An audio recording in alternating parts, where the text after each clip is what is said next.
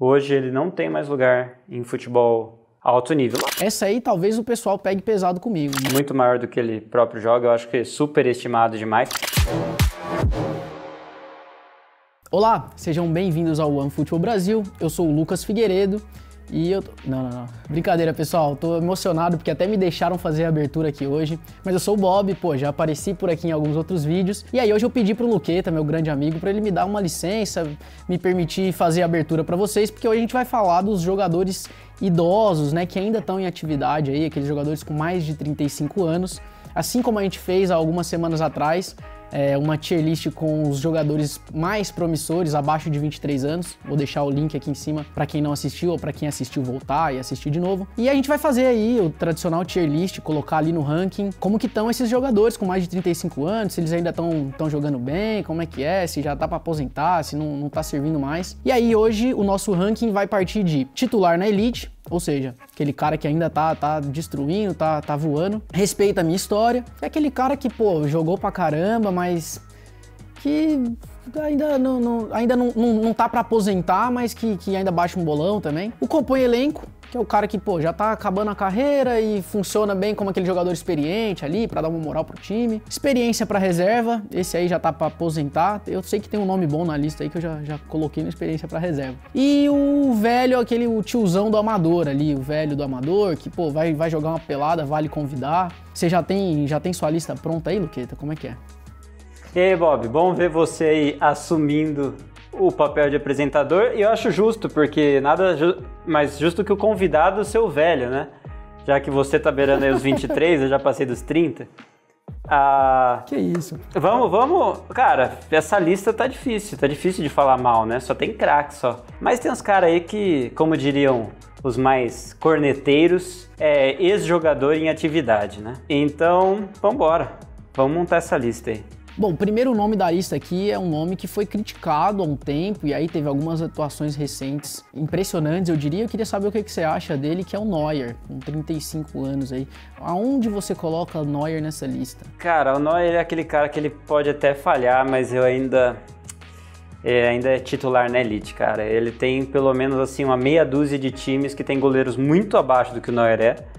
E 35 anos de idade, o cara tem joga que nem moleque de 20 anos, sai da, do gol. É, ele é titular na elite, cara, não tem jeito. O alemão é, é brabo. Eu acho que o Neuer é o melhor goleiro em atividade no futebol e é um dos maiores goleiros da história. Então, para mim, titular na elite, sem dúvida alguma.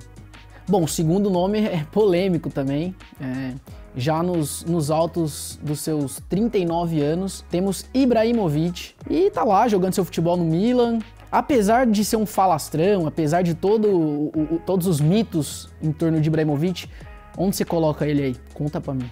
Ah, hoje em dia respeita a minha história, né? É, ele é um bom atacante ainda, mas está muito, muito longe de ser um dos melhores atacantes do futebol mundial. Eu acho que respeita a minha história está mais que bom para ele. É, não acho, acho que ele criou uma, uma história, uma fama muito maior do que ele próprio joga. Eu acho que é super estimado demais. Ele é craque, mas assim, o pessoal tem mania de colocar ele ali no nível de quase Messi Cristiano Ronaldo, ah, me respeita, né? O cara, o cara é bom. ele tem essa mania, né? É, ele, ele, ele não mania. precisa, ele não precisa disso, cara. O Ibra é bom, mas tá ali no nível dele, respeita a minha história, tá muito, muito bem colocado já para ele. Inclusive eu vou ser, eu vou ser é, eu acho que o, o, Ibra daqui seis meses vai ser compõe elenco. Porque 30, pô, o cara já tá idoso, meu. Aqui realmente é idoso. Se eu não me engano, de toda a lista ali, é um dos mais idosos. Ele realmente tem uma história muito bonita, a frase cai bem para ele. Respeita, respeita sua história, Ibra. Eu vou, eu vou passar pro próximo, que mudamos até um pouco de posição. O pessoal depois criticou lá quando a gente fez o vídeo dos jovens. Falou: ah, você só coloca um atacante, só coloca jogador de frente. Vamos falar do Chiellini. 36 anos, zagueiro. E aí? É, o Chiellini, antes dessa última lesão dele, ele teve boas apresentações. Xerifão e me impressionou positivamente. Se você falasse, fizesse essa pergunta para mim, acho que há uns dois anos atrás, talvez eu colocasse ele em compõe elenco. Mas eu vou. Ah, eu, é difícil, ele é difícil. Ele é algo entre o compõe elenco e respeita a minha história. Eu gosto muito do Chiellini. É, eu vou colocar compõe elenco. Vou colocar compõe elenco.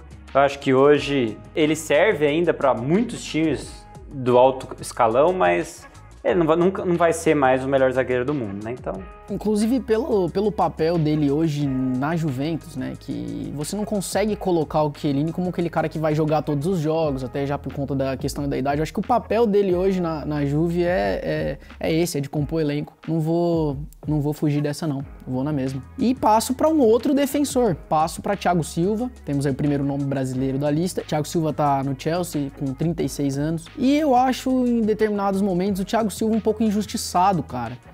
É, marcou muito né, na, na, na, Copa do Mundo, o choro do Thiago Silva, é, mas eu acho ele um cara injustiçado, sendo bem sincero. Eu acho que o Thiago Silva tem muita bola, eu acho que ele joga muita bola. Inclusive, a gente viu recentemente o PSG com problemas na zaga, tendo que, que em jogo de Champions, improvisar o Danilo, o Marquinhos depois né, que se lesionou. A gente viu o PSG com problemas na zaga, o, o Thiago Silva não renovou. E eu acho que o Thiago Silva tá ali como titular na elite.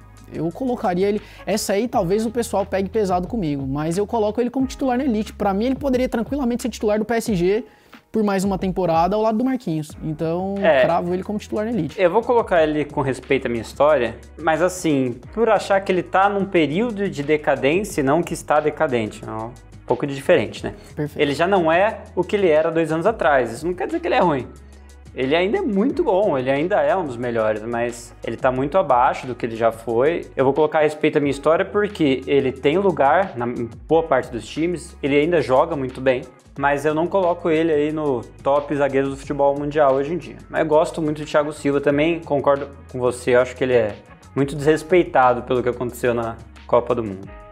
Vamos ao próximo nome, também brasileiro, Daniel Alves. O Daniel Alves está com 37 anos, recentemente volta para o futebol brasileiro, passa ali por aquele momento de. Ele há muito tempo gostava de jogar ali, caindo mais para o meio, aí realmente vira um meio aqui no Brasil. Essa aí eu vou, vou deixar você começar. O que, que você acha do Dani?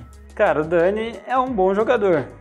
É... Só que assim, se a gente considerar o alto nível, a gente está discutindo aqui o alto escalão do futebol, é injusto eu colocar ele como, como titular na elite hoje. Talvez ele seja titular nos times brasileiros, talvez ele seja um ele seja titular a nível de respeito à minha história, assim, por tudo que ele fez, ele possa jogar titular na maioria dos times no Brasil. Só que a nível internacional, se você pegar os maiores times da Champions, cara, ele é, hoje em dia, 37 anos nas costas, ele não é um menino, né? Eu vou colocar ele experiência para reserva.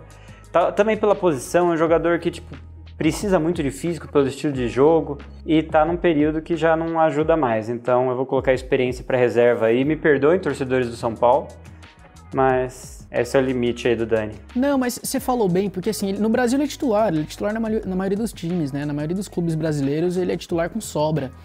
Mas como a gente está usando como parâmetro aqui a elite, os, os, principais clubes europeus, e ainda levando em conta que ele está jogando no meio, não é, não é a posição de origem dele, ele como lateral hoje não tem vaga nos times europeus porque ele não, não consegue acompanhar mais nem fisicamente. E ele no meio campo não tem vaga até por questões técnicas. É, não quero desrespeitar o Daniel Alves, acho ele um cracaço de bola, assim, com, com, com todo respeito de verdade, acho que ele, que, ele, que ele jogou muito no Barcelona. Mas Vou, vou, subir um degrauzinho ainda, vou colocar como compõe elenco, considerando os clubes europeus. Aquele cara que uma hora vai atuar ali no meio, num jogo de, de, de liga, de repente ele até consegue fazer um jogo na lateral.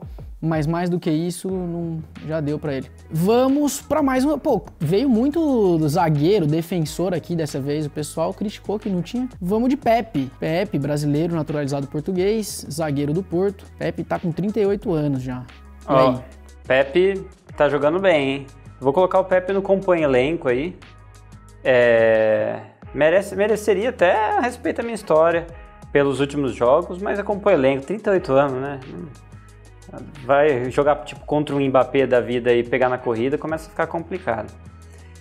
Então compõe elenco, acho que tá bom pro, pro Portugal. Esse é meu ponto também, porque quando o cara tá com 38, 39, a gente tem outros exemplos na lista, é, até por questões físicas, não dá pra, não dá você colocar titular na elite se o cara não tem nem a capacidade de jogar todos os jogos. Então, vou, vou, na mesma. Pepe compõe elenco, compõe bem. Num, num, time como o Porto, por exemplo, compõe bem. Até respe... no, considerando o Porto, é, eu acho que ele, pela identificação, por ser português, acho que vale até um respeito à minha história, mas não desrespeitando o Porto também, na maioria dos grandes europeus ele compõe muito bem o elenco. E aí passamos, Luqueta, pro mais velho dessa lista. Vamos pro vovô Buffon. Buffon que segue lá na, na, na Juventus, né? Buffon não é nem mais titular, Buffon muito provavelmente vai se aposentar agora é, no final dessa temporada. E aí essa é complicada, né? Porque é um jogador já quase, quase aposentando. Ele é velho do amador para você?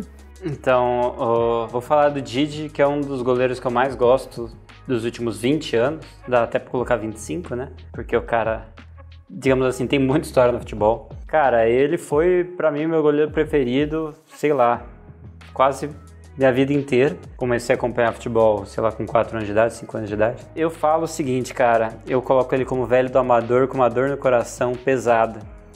Eu acho que hoje, hoje ele não tem mais lugar em futebol alto nível. Lá, cara, não quer dizer que ele não tem lugar em outros países, etc, mas considerando a elite do futebol, uma Juventus, não dá, cara. Passou, passou daquele momento chegou a hora dele virar aquele jogador que também é assistente técnico, sabe? Tem toda a experiência. Tô falando isso, cara, de um dos maiores ídolos aí da, da minha história de, de torcedor. Pesado, mas eu acho que ele é velho do amador, cara. Agora, colocar ele é, toma, é risco de colocar alguém sem, sem condição de jogar.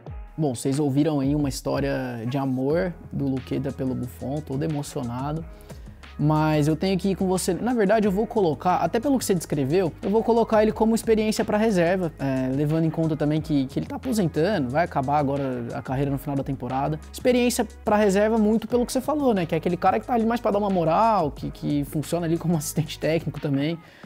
Mas já deu, já deu. Tem uma carreira belíssima e, enfim, vai ser muito festejado também quando encerrar a carreira, que vai ser em breve. Experiência para reserva.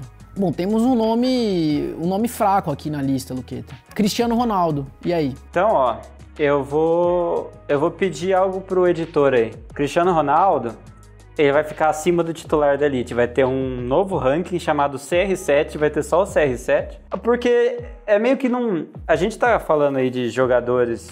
Cara, não dá pra você comparar, né? É bem difícil. Cristiano Ronaldo, cara, com 36 anos de idade, ele ainda é considerado um dos melhores jogadores do mundo. E, tipo, jogadores do mundo. Ah, não, ele é muito bom na posição. Não é isso que a gente está discutindo. Acho que poucos nomes dessa lista têm a representatividade que tem o Cristiano Ronaldo é, hoje nessa idade, né? Se você contar a história, acho que 99%, mas. Então eu vou colocar ele como CR7. É, é, é a categoria. É, eu não tenho nem, eu não tenho, é, eu não tenho nem muito o que falar sobre ele também.